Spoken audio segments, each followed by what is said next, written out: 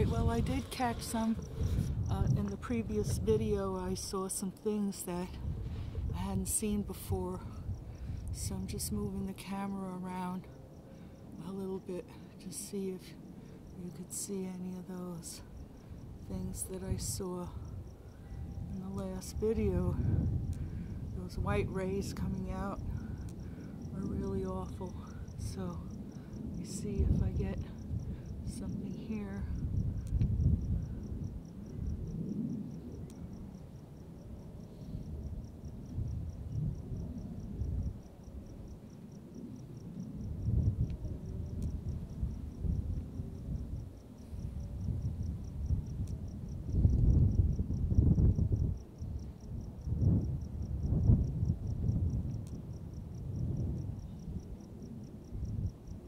Now I see it.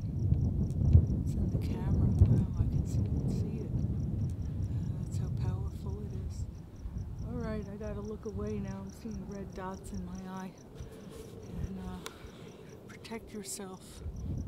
It's about, what is it, like 4 p.m. Almost time for the 5 p.m. twirlies.